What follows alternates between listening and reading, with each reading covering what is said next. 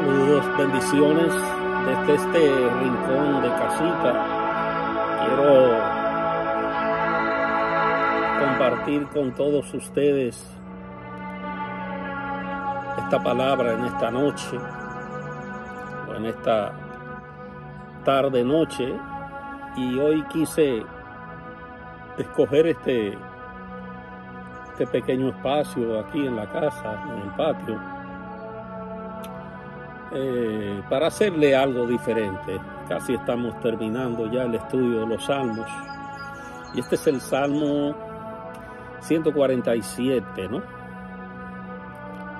Este salmo habla de la sanidad que Dios ofrece a los quebrantados de corazón. Tiene 20 versículos, pero quiero leer solo cuatro y luego miramos qué hay dentro del salmo, qué podemos aprender, ¿no? Así que eh, cita en el nombre de Jesús, alabar a Jehová porque Él es bueno, cantar salmos a su nombre, a nuestro Dios, porque suave y hermosa es la alabanza. Jehová edifica a Jerusalén, a los desterrados de Israel recogerá. Él sana a los quebrantados de corazón y venda sus heridas. Él cuenta el número de las estrellas, a todas ellas llama por su nombre. Y es que este es un Dios, mis amados, muy sabio, un Dios eh, maravilloso. Yo, eh, a la verdad, eh, todos los días me maravillo de ver la forma en que este Dios ha creado todo y la forma que él usa para relacionarse con cada uno de nosotros y con la propia creación. Comienza diciendo alabar a Jehová. Empieza y termina con esta frase, que son tanto una motivación como una declaración a alabar a este Dios. Este aleluya empieza y termina como los cinco salmos que concluyen este libro, escrito por David mayormente, ¿no? No hay cielo ni en este mundo ni en el venidero eh, para que la gente no alabe a Dios. Porque si no entramos en el espíritu y la alabanza como será en el cielo, la pregunta sería, ¿cómo van el Espíritu y el gozo del cielo a entrar en nosotros? Es algo que tenemos que meditar y pensar. Porque el salmista dice, porque es bueno cantar salmos a nuestro Dios. Así que para él esto era lo correcto, decirse a sí mismo y a otros, alabada Jehová. Y aunque el pueblo de Dios eh, lo hará con cantos. La bondad de alabar viene de la verdad que hay en sí misma, que es suave y hermosa. El Salmo 33, verso 1 dice, en los íntegros es hermosa la alabanza. Así que la verdadera alabanza es hermosa para Dios, para su pueblo y para el adorador individual. La alabanza es suave y hermosa para la humanidad, es decente y apropiado y correcto que cada criatura inteligente reconozca a este Dios supremo. Y mientras que Él no hace sino bien a sus hijos, o sea, a los hombres, nosotros deberíamos de hablar bien de su nombre. Sí, hermosa es la alabanza, así dice, ¿no? Esta línea.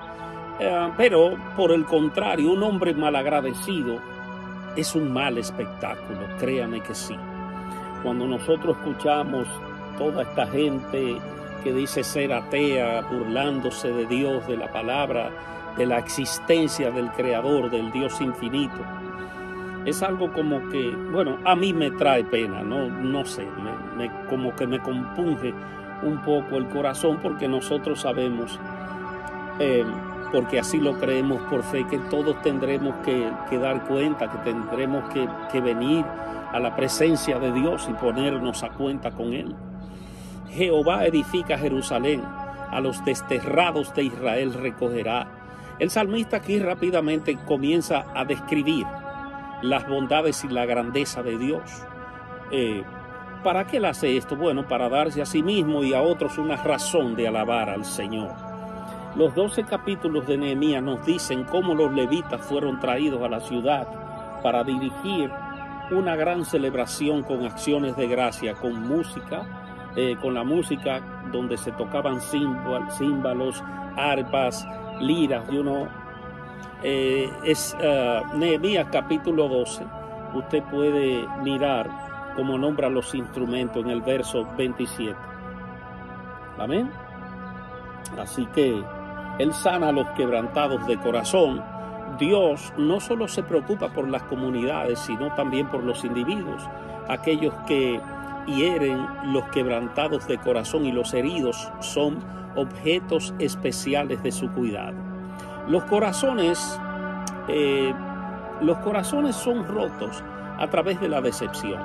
Los corazones son rotos a través del luto.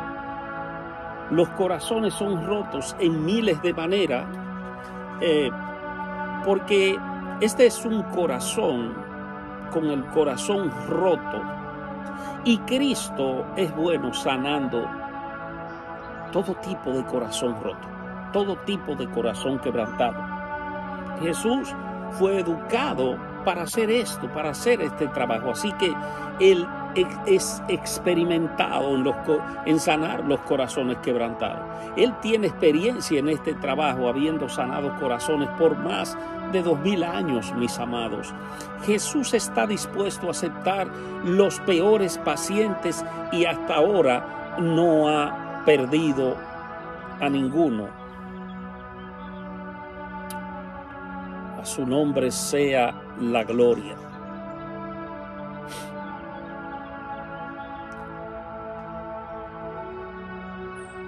Ahí todavía. Mire, Jesús está dispuesto a aceptar aún a los peores pacientes y no perderá ninguno. Él sana los corazones heridos con medicina que él mismo va a proveer.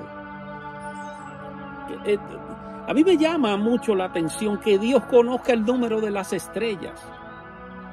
Y, eso me da fuerza porque eso me enseña a esperar en este Dios. Ahora, que Él sea capaz de enderezar un corazón que ha sido doblado y unirlo con su simpatía, sanar sus heridas sangrantes, reconstruirlo. Esto es algo maravilloso, aparte de, que es increíble y es divino. Dios es, el poder de Dios es maravilloso. Dice que Él venda nuestras heridas como un buen pastor. Así dice Zacarías 1.4, como un buen samaritano, Lucas 10:34 como un buen cirujano a su paciente. Él cuenta el número de las estrellas y a todas las llama por su nombre. Así que el mismo Dios se preocupa eh, eh, por los individuos que están pasando situaciones muy bajas en su vida. Porque Él con su majestad se extiende en toda dirección desde la totalidad del espacio hasta las necesidades del individuo. O sea, Él sabe llamar a las estrellas por su nombre, pero también nos conoce a cada uno de nosotros nuestros quebrantos, nuestros problemas, nuestras situaciones. Mire, eh, Él dice que a las estrellas, a todas, Él llama por su nombre. Literalmente, Él le pone nombre a todas y no es dado como una designación, sino convocándolas como, como que Él es el capitán de ese ejército. Porque las estrellas no son fuerzas ni deidades como en el antiguo Medio Oriente pensaban, sino que estas son entidades creadas por este Dios soberano. Y el salmista dice, grande es el Señor nuestro y de mucho poder. Así que él está describiendo a al Dios Todopoderoso eh, en los más altos aspectos de su majestad, en su rendimiento que es infinito. Jehová exalta a los humildes. Esto podría darle la vuelta al conocido argumento de que un universo tan grande En un universo tan grande, nuestros pequeños problemas son demasiado diminutos como para ser notados. No, no, porque mucha gente dice, ¿tú crees que habiendo 8 mil millones de personas en el mundo, Dios va, a ponerse a ocuparse de tu problema. Ese es el, es, ahí es que está el problema, la falta de entendimiento de lo grande que es este Dios que dice que el universo cabe en la palma de su mano. Este, los cielos de los cielos no pueden contener a este Dios. Amén.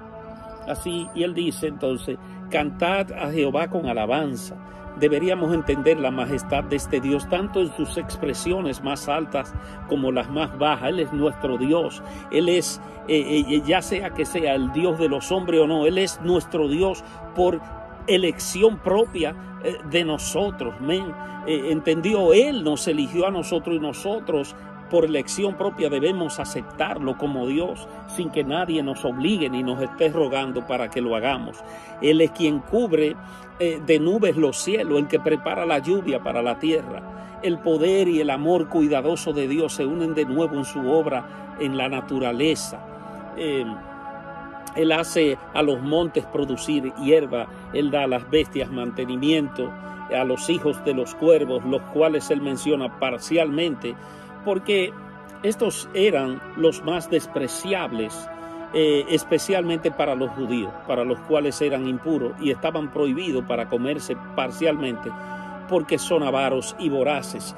Fíjese que al profeta Elías, no sé qué tipo de enseñanza le quiso dar el Señor, pero imagínese usted, Elías recibiendo comida de los cuervos y, comió su comida y no reclamó nada, eh, eh, eh, um, mirando nosotros el pensamiento que tenían los judíos sobre los cuervos que las consideraban unas aves inmundas. nosotros tenemos la firme creencia de que Dios usó unos hombres que le llamaban los cuervos, descendencia de Setura con Abraham, en aquellos tiempos de, piel, de color de piel bastante oscura, pero eso es otro tema y hay mucha leña que cortar por ahí y no me quiero meter. Él dice, no se deleite en la fuerza del caballo. Tomamos gran interés en el poder de la creación de Dios, ya sea en la fuerza del caballo o en la agilidad del hombre. Dios creó todas estas cosas, pero esto no es lo que fundamentalmente debe deleitarnos. Jehová se complace en los que le temen Dios se deleita en la reverencia y la confianza de su pueblo, aquellos que toman su esperanza y su misericordia para deleitarse en sus obras. Amén. Él no se deleita en las fuerzas de, los animales, sino en el temor y en la esperanza que constituye la fuerza espiritual. Misericordia aquí es traducida em, la palabra Jese, ¿no? Que ya lo hemos dicho, porque en muchos salmos eh, en la mayoría de ellos usa el salmista la palabra misericordiosa para, misericordia, para mostrar el favor de Dios inmerecido sobre, sobre nosotros, ¿no? Eh, referente al gran amor de Dios en el contexto de su lealtad hacia sus promesas y pactos. Los que le temen, los que le esperan, son las marcas del nuevo nacimiento, son el temor y la esperanza, porque, porque tememos, ¿Por qué? Porque reconocemos ser pecadores y, tenemos esperanza de que el Dios en el que creemos es un Dios maravilloso y misericordioso. Alaba a Jehová Jerusalén. Él está exhortando al pueblo a alabar de nuevo con otro aleluya. Amén. Eh, para entender con cuidado el poder y la maravillosa majestad de este Dios. Con alabanza reconocemos eso. Y dice, porque él fortificó los cerrojos de tus puertas.